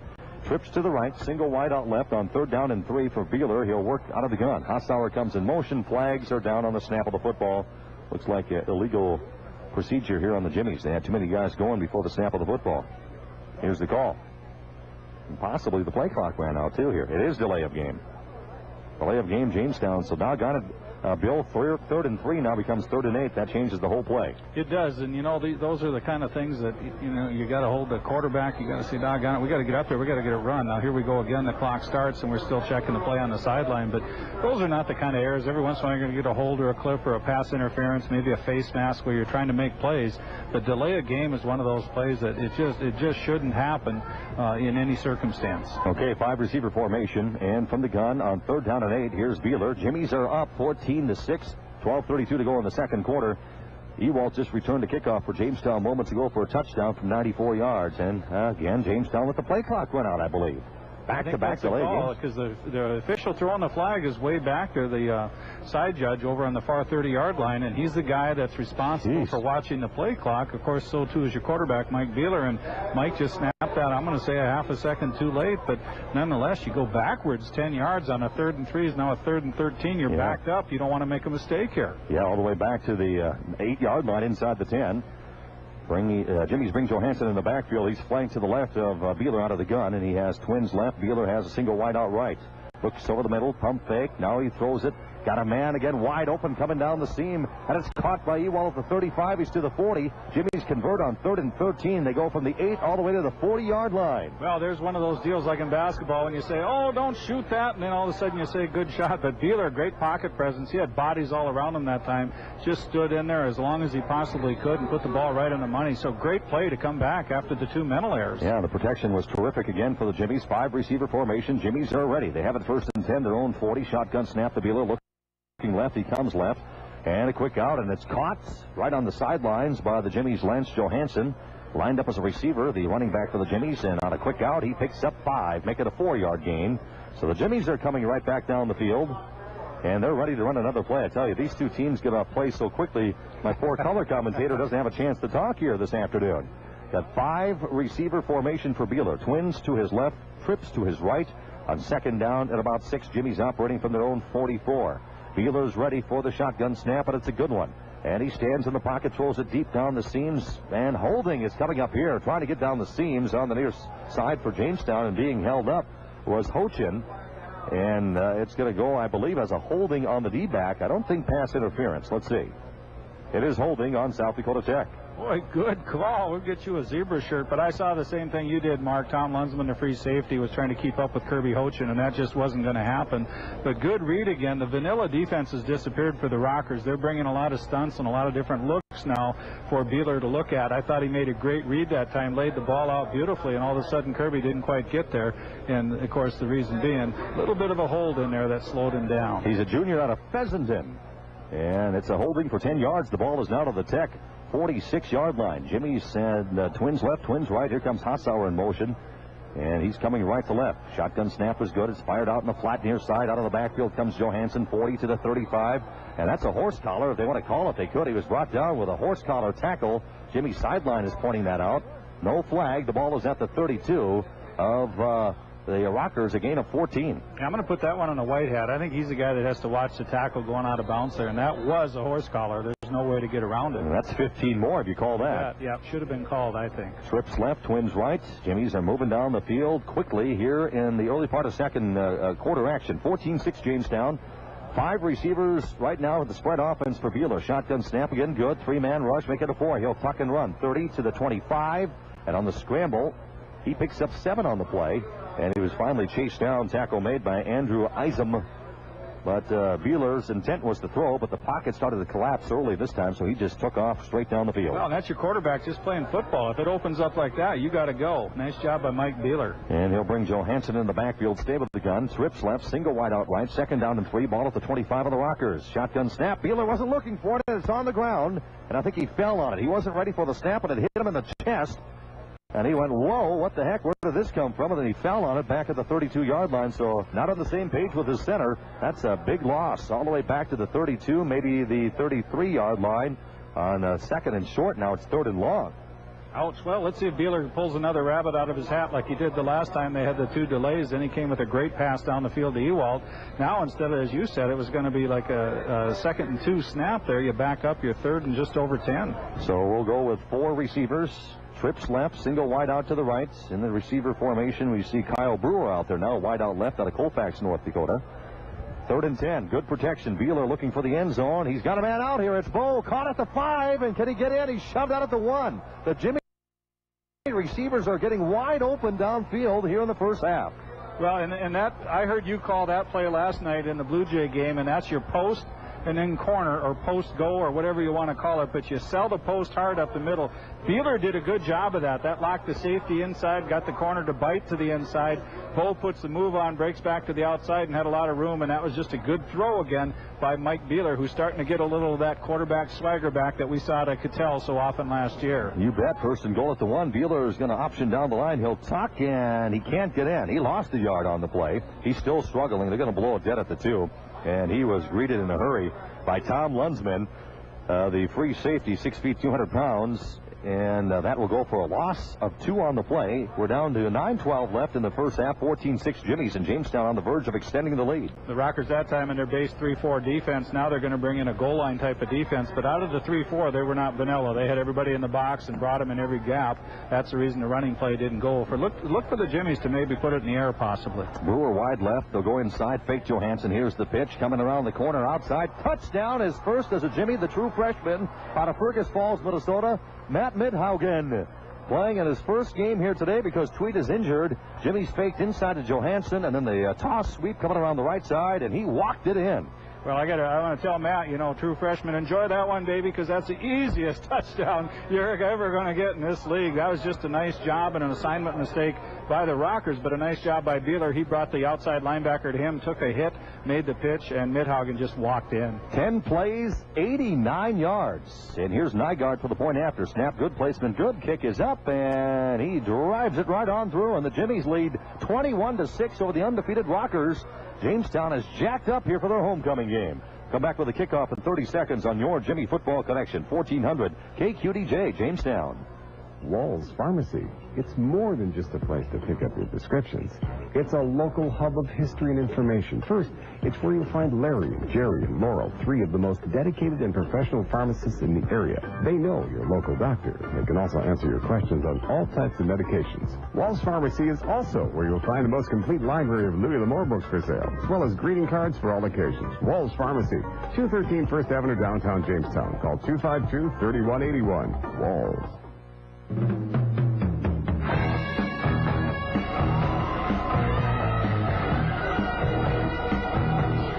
Back at Greeno Field, Jimmy's right now a homecoming impressive, up 21 to 6 on Mark McKenzie, broadcast partner Bill Nold, in studio engineer producers Nathan Schweitzer. Who are these guys? Well, I'll tell you what, the Jimmies look awfully good on offense and kind of a quick strike type of thing. Let's watch Mr. Dale, though, not give him one back. And Nygaard will kick it again high and short. I think this is really an intentional thing, and it's grabbed by one of the up men at the 30 to the 35, and coming down the right sidelines is Davis. 40, 45, a reverses field to the 50. This may backfire. He's to the 40. He's got blockers. 30, 25, 20. One man to beat, and down he goes at the 15-yard line. Touchdown saving tackle made by Kyle Blumshine, or Blumenshine rather, out of Riverton, Wyoming. So the Jimmies purposely are kicking it short, but uh, this time it backfires on them. I'm going to correct you on that tackle. That was Andy Rogers out of Williston, Mark. I think you might have been on the Jimmy roster. You mentioned Blumshine, right? Right. Uh, it is actually a Jimmy, but it was uh, Rogers, number 18 from Williston. And there you go. I think what the Jimmies are doing on that kickoff, Mark, they're directional kicking, but I, I just don't see them kicking the ball far enough down. So on the kickoff return, it's an inside That's handoff to Dale. And Dale is spun down right at the line of scrimmage, maybe lost yard, and, and getting in there for Jamestown and uh, making that tackle for the Jimmy's Gareth Ives. I'll, I'll correct myself. I got it backwards. I'm looking at the wrong roster. You got the right roster, giving it to Blumshine, so look out. Let's see what the Rockers do here now. Again, I go back to big five big guys in the middle. They're going to come with double tight this time, and, and that's a pretty good throwing formation. They haven't really shown a whole lot of run other than the toss sweep, a real nice draw play earlier on. Yeah, Tech starting at the uh, Jamestown 15-yard line. Russell will throw, comes underneath Dale. Dale gets a block from the official to the 10. He's inside the 10, the 5, and he's hit at the uh, goal line and driven backwards. He'll get to the 1. Found the zebra, the umpire out front, who helped spring that play a little bit more. He got in the way of some Jimmy tacklers. He did. Both tight ends just kind of ran straight up the field to take the safeties out of the play. The wideouts took the corners deep. And what Dale did is just ran a little tiny circle route coming out of the backfield, caught the ball just in front of the line of scrimmage, and as you said, made his way by the umpire, picked up a screen, if you will, or a pick in basketball. That allowed him to get to the near sideline. And Russell will stay with the gun. It's uh, first and goal at the 1. Holy cow. We just can't keep up. Up and down the field we go here. Barth is the uh, setback, and the fullback gets the call, runs into his own man, and down he goes. He maybe lost a yard. He ran into one of his big blockers, and that blew the whole play up. And Jamestown dived uh, on top of him, and leading that charge for Jamestown was Gareth Ives. They say he did lose about a yard. Yeah, the Rockers tried to pull the left guard that time and get him around the center and lead up over on the B gap over on the right side, but the Jimmy defensive line just knocked it backwards. And yeah, I don't know if you're going to have time at halftime to catch up on all these stats because they've just gone up and down, and nobody takes a whole lot of time between plays. Both teams go with that no huddle offense. Second goal, the ball goes out to Jimmy two. Jimmy's up 21 to 6, but the Rockers have come storming right back down the field. A big kickoff return that covered 55 yards for Marshall Davis to put his team back in business. Rolling to his right now, firing underneath, missing his man Russell, and he was hit as he threw. He had to hurry the throw, and he had a man back in the end zone, but he threw it out of the uh, outstretched fingertips of Jason Bielstein. And then he got whacked hard. A couple of Jimmies met at the quarterback. Yeah, that Bielstein was all alone. If Russell would have had just an ounce more time, he had to throw it a little quicker than he wanted to. Pressure that time came from Widstead at the nose guard, and also the other guy in there was number 51, uh, 51 Blake Williamson. So it is third and goal. So from first and goal at the one, it's third and goal at the two. And from the gun is Russell. Got a slot receiver right, wide out to his left. Jimmy's are blitzing. Russell scrambling, rolling to his right, looking end zone, comes over the middle and missed his man. Ostheimer was there. The pass a little bit behind him. It was probably catchable, but he kind of lost his footing, was falling, and reached back with the right hand on the right shoulder and it goes off his fingertips incomplete. So it looks like the Jimmies will force another field goal attempt. Well, that was Drew Bayer with the pressure that time from the left side, kind of in the face of the quarterback Russell. And when Russell looks at video, he's going to wish he had both of those throws back, Mark, because he had open receivers beyond the goal line both times and just missed them. This will be a 19-yard attempt. Basically an extra point, Bill, is what we're looking at here. And uh, Smith has nailed a couple, a 21 and a 21, and this one is for 19. Rockers got to be upset there struggling in the red zone. Extra point. They fake it on a field goal attempt and walking in. Oh, boy, the Jimmies got burned. Trevor Roberts, the holder. They faked what was a field goal that amounted to an extra point, and the Jimmies bid on it. Coming up out of the hold was the uh, uh, the holder, Trevor Roberts, and he rolled to his right and just walks in untouched for the touchdown. Yeah, I love the call. I, you know, don't care for the result for the Jimmies, but I'll tell you what, he just kind of sat the ball down on the hold and, and, then rolled out of there and just trotted around the end zone. There was nobody there. The corner, the outside backer, they all collapsed down on the snap. Well, we'll stay with the same 11 players, and now it's an extra point attempt for Smith. What a shootout we have going. The extra point is off the upright, and then it skips back inside. He just shaved that one in. Wobbly, slow snap that came back to the holder. I thought that one may be blocked, but he got it off and it hits the left upright and skims in for the extra point. So Smith with the point after, and it's 21 to a 13. Jimmy's with the lead. Hang on. Jamestown's ran a kickoff all the way. Kickoff here by Marshall Davis, returned 55 yards to the Jamestown 15.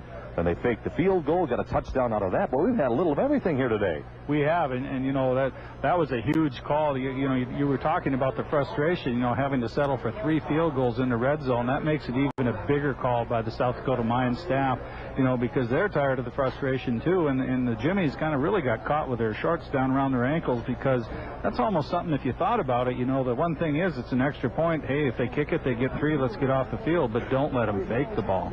Boy, I wasn't looking for it. They got me too. I wasn't either. If we'd had a little more time maybe to think about it, but I'll tell you what, they came out and executed it very well. They fooled everybody because all 11 orange helmets were squeezed in the middle. So it is uh, on the uh, fake field goal. The holder, Trevor Roberts, who gets the touchdown run that'll cover and three yards. He just came out of his uh, his hold, his crouch, and Ran around the right side. Nobody's there. Ewald will get another chance from the 5. He's to the 10, 15. Here he comes again. 20, 30. Caught at the 32 and dragged down there. And the tackle made by the Hard Rockers, uh, Trent Jungworth. He's a sophomore out of Redfield, South Dakota. So Ewald won't take this one back 94 yards, but he gets a return of about 25.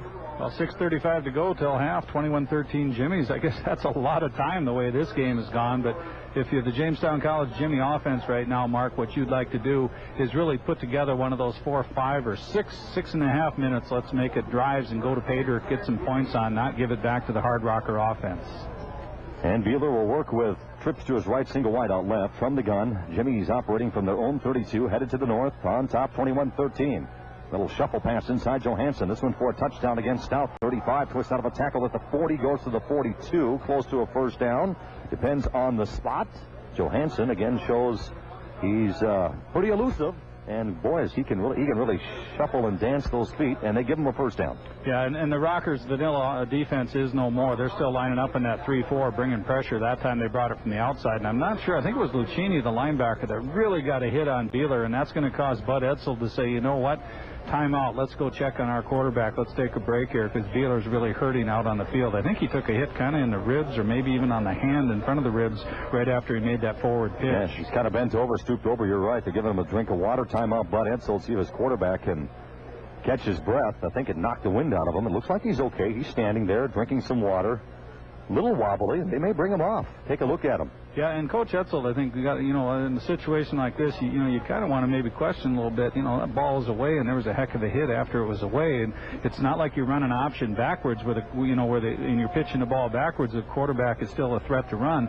Basically, when it's pitched forward like that, it is a forward pass and, and therefore the ball's gone and he's no longer a threat. So you kind of question that was that a necessary hit or not. But Beeler's going to stay out there. He's in the huddle with the rest of the guys. So let's see if he doesn't stay on the field. Little shuffle pass that went for 10, and then he got waxed. But uh, yeah, it looks like he's got his breath back and he's ready. First down, Jimmy's from their own 42, 21-13 Jamestown. We've had two big kickoff returns, one for each team. We've had a fake field goal for a touchdown. Beeler's found wide open receivers much of the half so far. He'll go with four receivers on this set. Trips to his right. In the backfield, he's got Johansson. Again, injured Jay, Tweed. Oh, now the center moved the ball, and that's five yards for a false start. And that one was so evident I could see it from here. Yeah, that's that's, one of those uh, what do they call them blooper tapes? Because uh, really, what happened, Brent Lemaire, who plays that center spot, uh, just he, he moved the ball about six eight inches backwards, and then he slid it back like nobody saw it. Whistles and flags everywhere. So uh, this will make it first and 15. The Jimmies back to their own 37. 6:27 before halftime. Our producer today. Our in-studio engineers Nathan Schweitzer and Black Hills State at Valley, Dakota State at Minot, Mayville at Dickinson, Illinois and NDSU are playing the Bison's homecoming game. That started at 1 at Fargo Dome. We'll check all those games. Twins with a big one coming up in about an hour. Screen near side, flanker screen to Wilson. 40, 45, good blocks out front. He shoved out around the 48-yard line. And for Jamestown out front, receivers throwing blocks, including Ewald. Also in the mix, Hassauer did a nice job. That will go for a gain of 10, maybe 10 plus. Yeah, really, first down throw is what it should be without that penalty, so it'll be second, I would say four. Second down, now four receivers to the left and a single wide out right. Look at this formation. I don't think we've seen this one this year from the Jimmies. Four receivers left side, and they'll set up the bubble screen. Low throw caught by Johansson, 45-50 with a burst of speed. He's caught at the 48. Kind of ducked his head and dove for the first down marker. Bit short. Pass play goes for four, so it's second down, third down rather, in inches. And a timeout for the Jimmy offense. Second timeout for Jamestown. 5.47 to go in the half. It's 21-13. Jimmy's Jimmy offense has been moving the ball all over the place in the first half. And the good news is they're scoring. Much of the season, we've been talking, Bill, about the Jimmy offense moving the ball with success between the 20s. But this year, uh, this game, the Jimmies are finishing the drives. Yeah, you bet, and just a little more confidence there. And guys, you know, making the throws. Uh, Beeler's throwing the ball well. Guys making the catches, that type of thing. Now, the Jimmies brought in, I think it was um, uh, Austin Scholl, a fullback, and they also brought in Joe McLaughlin, a tight end. Looked like they were going to go to a big offense, and now Coach Etzel's going to talk with the officials over here as there's a break, and uh, they're still, I'm not sure they're sure. That, yeah, here they go. They're going to go with that personnel group, so they're going to bring in a couple of new guys into the offense as they rotate them in here for the short yard play. So we're kind of selling run here, aren't we? Or advertising a running play? Well, I think so, and yet I guess I don't know. McLaughlin, 6'6", 250, is a redshirt freshman out of Ironton. Minnesota, so that gives you kind of an extra tackle over there. The, he's going to line up at the left tight end spot. Go with a broken eye. Ewald and Hassauer wide to the right. Jimmy's burned their second time out. Third down and about a yard. The ball is at the attack 48 and a half yard line. Yeah, and, and they, excuse me, Mark, they're lining Scholl up behind McLaughlin over on that left side in a broken eye. So, yeah, you would look at this and you'd say on paper they're going to run right at that left tackle spot, try to power the ball ahead, but you never know. Okay, we'll see if uh, the play, the way it appears, that it is set will develop that way. 5.46 to go in the half, 21-13 Jimmy's. Beeler for a rare time gets under center. Now they'll motion to the right. Let's see if they run it to the right side with Scholl coming to the right side. Johansson the lone setback. They'll run right up the middle. He's got the first down and more. Dives across the 45 of South Dakota Tech to the 44. Straight ahead football goes for about five yards and a first down for the Jimmies. Yeah, good call. Mark Martin really got all our attention on that tight end and that fullback. He flipped him from left to right, both guys at the same time. Kind of a flip, they call that, where you move your power over to the other side. So now you, you get the defense thinking they're going right to the, toward the defense. Now you think they're going left, and heck, they went right between the guards. Yep, fresh set of downs. Ball at the 45 of Tech. Jamestown ahead, 21 to 13, 5:16 to go in the first half. Beeler goes back to the gun. Twins right, single wide out left. Johansson in the backfield with him. Shotgun formation. Tech shows a blitz. And they bring four. Flanker screen to Wilson near side. And he's got it at the 45. Dives to the 41. Minimal gain. Got about three. And down the line pursuit that time for South Dakota Tech was very good. And in the mix, Tom Lunsman again. Jimmy's are set to run another play after a gain of two. Sixth play of this drive. Started at the Jimmy 31. Presently at the Tech 42 yard line. Trips left. Tight end in motion will shift to the left side of the offensive line. That's Joe McLaughlin. Now the Jimmies will bring Wilson in motion. He'll settle right side of the field, wide out near side, near sideline. Beeler still barking signals. Second and eight from the Tech 41 from a shotgun formation. Johansson in the backfield. Woman who takes the inside handoff. Trying to get outside. Breaks the tackle. Can he turn the corner? No. Down the line pursuit was awesome for South Dakota Tech. Finished off by Timothy Luchini. Uh, Luchini. Luchini with the uh, tackle, and uh, there's no gain on the play. I think we've been saying Lucini, but talking with Tom Rudebush, the uh, play-by-play guy for South Dakota Tech, he says it's Luchini. And I've been saying Luchini, so what the heck? We'll just say he's a good football player because we're having to call his name. That was a play, though, where Lance really, you got to pop that inside. Casey Hausauer ha- had a block to the outside. He tried to go around it, and you just go inside of that block first. You're going to pick up more yards. Luchini. Luchini, like zucchini. Okay, with Luchini. Got it. Third down and eight. Shotgun snap the Beeler. Got all day. Looking. Fires deep wide open. And the catch is made at the five yard line. The bad news is Wilson had to leave his feet to make the diving catch, and he's dropped, or he's down where he landed at the five. Nobody within 10 yards of the guy. Yeah, and you know, there really is no bad news because that was an unbelievable catch by Matt Wilson. He had to jump backwards, went up high to get it, pulled it down, hit the ground hard, and hung on. As a quarterback, you say, wow, how can you throw like that when he's wide open? But as you release the ball, he wasn't that wide open. It was a broken coverage. All of a sudden, there was no white shirt around. Too bad he had to leave his feet because that's a Right. walk-in touchdown. But he makes the leaping catch, lands at the five, first and goal for the Jimmies. 3:31 before halftime. A trips left, single wide out right. Beeler from the shotgun. He'll fire it over the middle, and it's bobbled and dropped. Ewald had a touchdown, and it popped right off uh, the midsection, right off his big number six on his chest, and goes incomplete. What a great throw by Beeler. That was a bullet right on the money. You're right. He threaded the needle, and Brill got a hand in there, and I think just kind of deflected it up so that Ewald couldn't get a clean catch on it. Jimmies are ready for their second down play, second and goal at the five. Beeler out of the gun, trips left. Wilson and Bow, and also on the far side, I believe it's Hossauer. Near side, the Jimmies have uh, Johansson and Ewald with five receivers on second and goal at the five. Shotgun snap, pass, batted down at the line of scrimmage. And then Beeler bats it out of the air before South Dakota Tech could intercept the thing. It fluttered in the air momentarily, and Big 94 was ready to grab that thing and head the other way. Andrew Munson, and a flag comes in as well after the play. Yeah, I think that was with the receivers out here on the uh, face mask. Right side, Mark. Uh, I wasn't sure if it was going to be a hold or what it was going to be, but I think one of the D-backs must have reached up and grabbed a face mask on the uh, slot to the, the uh, to the right side. So that's a big penalty. Is it an automatic first down, Bill? Face mask is automatic, is it? Well, they got two fingers up, so they're going to replay the down. So it's half the distance. So the ball is at about the two and a half of South Dakota Tech. Jimmy's up 21-13. 3.19 to go before halftime. Yeah, I think that's just that five-yard version face mask is what they must have called. Twins left. Out of the gun is Beeler in the backfield. He has the true freshman who's got a touchdown in the football game today for uh, Jamestown. It's Matt Mithaugen. And Jamestown is ready to run the play on. They do say first down now, huh? Yeah, it is an automatic first down. Inside, the give is to Johansson, and he struggles to get to the line of scrimmage. Eddie Guillen pounced on that one. Check that. Uh, it's uh, Joseph Burl who pounces on that one and makes the tackle for no gain. Well, not that you want to, you don't want to go forward, and you don't want to get the ball in the end zone. But if anything, this does eat a little bit of clock. The Rockers have three timeouts left, but I know Coach Etzel would just as soon snap it one more time and score here, so as no mistake jumps up and takes points off the board, like seemed to happen the last four weeks to the Jimmies. The 11th play of the drive. It started at the Jimmy 31. Second and goal at the Tech 4. Twins to the left, twins to the right. Right in the backfield uh, with the gun. Quarterback is Beeler. To his right in the backfield, shotgun formation, Johansson, who's going to loop out. Now Beeler's going to tuck and run. Can he dive it across? It depends if the referees say he got the goal line before his knee went down. They're going to spot him down at the half yard line. See, out uh, with the uh, football, he stretched that thing out. Now he's up gimpy. Yeah, Beeler took a shot on that one, kind of got stretched out as he dove, and I think it's one of the deals where your body goes and your leg stays behind. He's going to sit down. Referee's going to take an official's timeout here, and Mike's going to get some help. Yeah, he just collapsed. He ran back to the 10 and fell down, and he can't really put much pressure on the ankle, the foot. Bud Etzel burns the Jimmy's final timeout. It's third and goal at the half yard line. Ooh, Beeler is in some pain now. He just sits down and he's grabbing that right ankle. Yeah, and, and you know the the other thing that doesn't look good, he's grabbing it up high, and there's nothing worse in football, I don't think, than a high ankle sprain. It's the kind of deal that's a tough one to deal with. You can't go out and really wrap it up quick and say play through it. It's one of those deals where, um, you, you know, it could be a, a game uh, game-ending type of injury.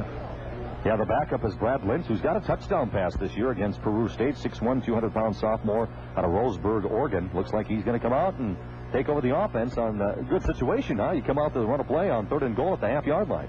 Well, you know, I, the old coach in me is coming out because it's a good situation. But on the other hand, there's so many things. Just the old deal: don't screw it up here. Get the snap, get it to our running back, whatever you're going to do with the football. Jimmy's, and you don't see this a whole lot, but down in close, and know, inside the 10, have been going with a shotgun type of snap. So now do you go up and get under center and try to run power? Or do you stay shotgun and try to come out with possibly uh, uh, just an off tackle play, that stretch play they've done so well with, or come with a quarterback counter with a new quarterback in there? Well, they're going to leave him out there. We just talked about uh, Linton. Here's Beeler running back into the huddle. He's a tough guy. He's from Foley, Minnesota, same place Jake Hellman's out of, but I thought he was done at least till the third quarter when he came over to the sideline because he was really favoring that ankle. Well, the way he collapsed here at the 10 and went down and grabbed his ankle, so it's third down and goal at the half yard line. And under center goes Beeler in the backfield. He's got Johansson. And two receivers to his left. Gives straight ahead. Johansson puts his head down, and he did not get in. He got stopped right at the goal line. No gain. So fourth down and goal from the half yard line. That's going to try to. Did you still do have the one timeout left? They're showing one timeout left up on the scoreboard, so apparently weren't charged with the timeout during hmm. that last break. And it Really? looks like Bud says, you know what, I'm a football and a half away. I might look at this or run it down, take a timeout, and then set up a play. I thought they were out of timeouts, Mark, after Beeler was hurt Yeah. last time, but I think the officials are taking credit for that, which I don't understand because Mike Beeler stayed in the game. Right. Okay, so the Jimmies will run the clock all the way down here and take a timeout. Play clock at one. Timeout, Bud Ensel. Yeah, I'm a little lost with you on this one. I thought the Jimmies just burned the timeout to see if Beeler could shake off the injury, which he did. Stayed in the game. But, like you said, it looks like the officials must have granted that timeout due to the injury. So now Bud Edsel takes timeout. And his team will discuss going forward on fourth down and goal at about the half yard line. Or do you kick a three here and try to build on the 21-13 lead? 132 left in the half. Well, I tell you what, I, I think this is one of those deals, and I not to not to play uh, you know second guesser here, but I think it's one of those deals where you know what, you line up and you go after it. You tell your guys up front that we got to get this yard. You talk about this through the preseason, the season, the weight room, and everything else, and sometimes it comes down to this. And uh, you know, if you're, it's not necessarily a riverboat gambler, and you see who Coach Etzel's out talking to. His five hogs up front. He's not talking to those skill guys. I think he's laying out a challenge for them right now that we're going to line up and go for this. You guys are going to get it for us. Amir Connection and Hunt and McGovern, Steiner. So we need a half yard, guys. Let's just get a little surge here and get a touchdown. And these guys have been good this year, Mark, but I think, you know, where they've really been good or where they've had to be good because the Jimmies seem to be behind a lot early in the games is in their pass protection. They've done a pretty good job even though they've been sacked. But when you're constantly behind and trying to throw the football, of course, the defense pins the ears back. That makes it tougher to have those great stats. Well, the Jimmies are going to go for it, and they're going to go uh, with Beeler under center. Out of the broken eye, twins to the right. Let's see if he just follows his center. He will. Put his head down, and he barrels his way into the end zone right behind Brent Lemire, and the Jimmies, I believe, have a touchdown. No Oh, signal yet. bet they do, yeah. There it is, finally. One yard touchdown run for Beeler, and he just lowered his head and followed Brent Lemire out of Harvey, 6'2", 275 pound uh, center, into the end zone. Well, I like the call. I, uh, you know, I, I go on record before it happened, and afterwards, it's pretty easy to jump on the bandwagon. But I like the call because Coach Etzel went out there. He talked to five offensive linemen, and I'm sure he told them, you know what, boys, we're going to run a gimpy ankled quarterback, and we're going to run a quarterback sneak with him, and let's see what you guys can get done. And there was a great surge. So even though the signal was late, there was no doubt with the touchdown because of the surge. Nygaard's point after is good, and Jamestown leads 28 to 13 in offensive explosion. Bill Jamestown had what five touchdowns on the season coming into this game, and they've scored four in the first half. Well, and they've done a little bit better job with the football. They've had the turnover in there again, but taking care of the football, I think the execution uh, execution's a lot better. And you know, Coach Etzel talked about we just got to get out and throw it and catch it. And Coach Martin talked about it yesterday. You know, we just got to throw it and catch it and just play the game and not worry about things so much or making the big play. We just got to go out and play. And I think they've done a better job of that today. Somebody better get that card up here though and give Beeler a ride up the hill and, and get him some attention. And if we kick it short this time, let's not kick it to that Marshall guy, okay? No, as a matter of fact, let's leave it down on the ground and kick. Uh, quit. You know, they're kind of doing that little pooch kick almost. Right. If you were punting, you call it a pooch kick. But uh, Nate Nygaard with his booming leg, I'd rather see him just line up. And if you're going to kick away, or what they call directional kick, and you want to kick away from somebody, go ahead, but let him hammer it. Now, if you look out there, look where number four is lined up. He's in the second line right here Yeah. on the 30-yard line is Jamie Dale. So maybe he's trying to cross up what the Jimmies are doing. One of the up men now, so. Marshall Davis, one of the up men, just ran one back 55 yards and set his team up for a touchdown. Nygaard's been hitting these little pop-ups. He hits a line shot. It's over Dale's head, bounces at the 20 and goes out of bounds. The Jimmies are really weary of this guy. They're not getting the ball anywhere near, Jamie Dale, who leads the uh, conference in kickoff return yardage at 24 per game. That's the second time now that Nygaard has kicked it out of bounds, and that'll give the ball to South Dakota Tech at the 40-yard line.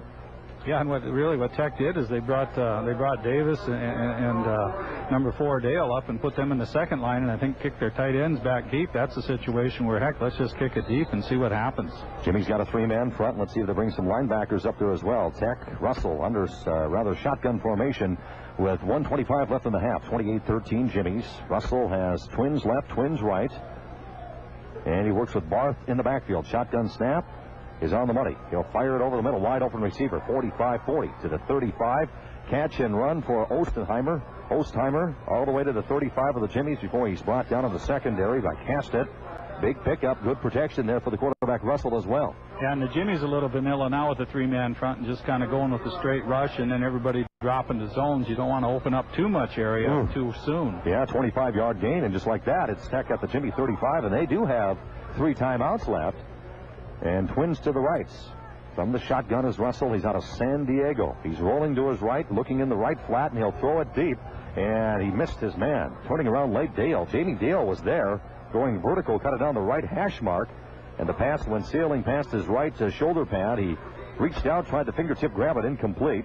When that ball was first let go by Russell, Bill, I thought uh, interception was in the making. Yeah. But he threaded that needle. He did, but good pressure from Jones that time, along with Daniel Brewer, number 95. So he's under some pressure as he throws. Second and 10 at the 35. Shotgun snap. Quick out, and it's incomplete. On the 30 yard line, a kick out, uh, quick out rather, off the uh, fingertips of Andy Rogers, incomplete.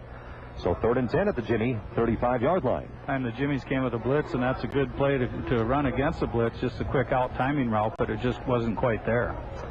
Russell is ready. Single wideouts either way. Jimmy's have a three-man front and a couple of linebackers. Kubler's up here as well. Here comes the rush. Russell hit as he throws in the right flat. Catch is made on a quick out around the 35. Great throw under pressure. Put it right on target to Ostheimer, who goes out of bounds right at the first down marker. See if he got it. Yeah, I think he got it. They got the ball right on top of the 25-yard line. The other stick is right in the middle of the 35, so they should give it to him. It is first down at the 25. Fresh set of downs for the Rockers. 50 seconds left. They do have three timeouts, but they're going with the hurry up, no huddle. Single wideouts either way. From the gun is Russell. He has Barth in the backfield with Dale out of the shotgun formation. Dale to his left, Barth to his right. Look out for a uh, rather Barth to the left and Dale to the right. And Dale, of course, will slip out underneath and make some catches. Looking left for Barth. Nearly batted down. It got through Kubler's outstretched arms somehow. Maybe he did deflect it a little bit because it landed at the shoe tops of Barth incomplete. Yeah, I think Matt might have got a piece of that. I also noticed the clock ran that time when they blew it ready for play, and I didn't. Hard Rockers apparently not looking at the clock because the ball went out of bounds on the first down. Should have clock should have stayed stopped that time. So I think the Rockers lost about 10 seconds. Ball is at the Jimmy 25. Twins left, twins right. Russell out of the shotgun. Jimmy's bring a blitz with the linebackers. Keenan coming. Pass dropped. Right at the first down marker, get a quick out right on the money to Ostheimer, and he dropped the ball. He tried to get out of bounds before he had it. You said it. He, he turned and looked for the stick, and he wanted to do two things. One, he wanted to get the past the first down. The other thing, he wanted to keep his feet in, but he just kind of looked away. It went right by his hand and hit him right in the helmet. I don't know why Tech is, you know, even if he catches that and is down inbounds, you have three timeouts. So why the urgency to try to catch it and hurry up and get out of bounds? That's These uh, timeouts won't carry over. Third and 10.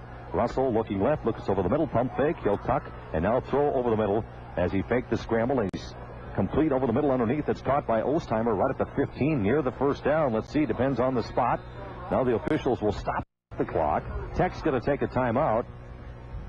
And it looks like a first down. Let's see if they bring out the chain gang on third and 10. Yeah, I think it's a first again. The ball this time landing kind of splitting the 15-yard line, and the stick again is splitting the. I'm looking at the 25. It's just on the inside of the 25, but he's definitely got enough to get it, unless the lines aren't straight, and I'm not betting on that. The field looks terrific. Again, we had an inch and a half of rain earlier this week. And the moisture again was needed. It was getting pretty dry. Boy, those winds have been nuts the last week or so, but they've settled down the last two days. Yeah, they, and this field really is in good shape. These guys really do a good job with it and take great care of it. And it's a little wet, you know, a little softer maybe than you'd like it to be today, but there's not much you can do to keep, you know, the, the rain off it the last couple of days. Temperatures around 50 today. Uh, the wind's not a factor. A little breeze that's coming out of the north. It's overcast for the most part. And you know what? It feels like early October, and that's because it is, huh? Hey, I'm not complaining. We, we don't need a heater in here. It's comfortable. Yep. I, we, you and I got nothing to complain about. Maybe somebody out there is a little cool, but it really isn't that bad a day for football. As long as it's not snowing and blowing, I'm happy. and I think that's happening down in the Black Hills. Sure, and even when you're sitting in here, you'd be whining, wouldn't you? We're taking off your jacket. And First down and 10 at the 15 of uh, the Jimmies. Jimmies lead uh, 28 to 13. 18 seconds left in the first half. In the red zone, the Hard Rockers trying to tighten the score late in the half. Here comes a big blitz. Russell flush, rolling right, running for his life, and he'll throw it away. And breathing down his back for Jamestown was Tyler Keenan out of Wyndmere, North Dakota. nice job by Keenan on the blitz, but also Wibstead. And I just got to mention Wibby at that nose guard because uh, he's a plugger. He's 6'1", 270, a junior from Jamestown. But Wibby has been in three or four five times even with pressure on the quarterback today, along with another man or two here or there. But I think he's been the most consistent pressure guy in that defensive front today. Twins to the right, including Jamie Dale. He's the slot receiver. Russell, second down and 10 at the Jimmy 15, 12 seconds before halftime. Shotgun snap on the money. A pump fake pass over the middle. Big hit, Castet. And it's popped in the air and intercepted by Kubler. Kubler's got it at the 10, trying to thread a needle to Dale. The pass got there about the time Castet did. He buried Dale. The ball popped in the air, and Kubler picked it off. What a play by Castet, Mark. He, you said it, big hit, but that was almost NFL-like in that the ball got there at the same time as Castet got there. There was a big hit. Dale had not a chance in the world, and then as bad luck would have it for the Hard Rockers, it popped up in the air, and Kubler, coming from the near side, was paying attention, hustling to the football, and he gets the pick because of the hustle. Well, the quarterback had only two interceptions on the entire season for Tech, and he's been picked off twice. Russell, two interceptions today. The Jimmies will take a knee. Beeler from his own 10 takes the knee, and it's halftime with Jamestown on top 28-13. Great half for the Jimmies for their homecoming game. We'll take a break, come back with halftime numbers in two minutes on your Jimmy Football Connection. 1400 KQDJ, Jamestown. Went out and spent big bucks on your TV, and now you need to get HD service to see what it's made of.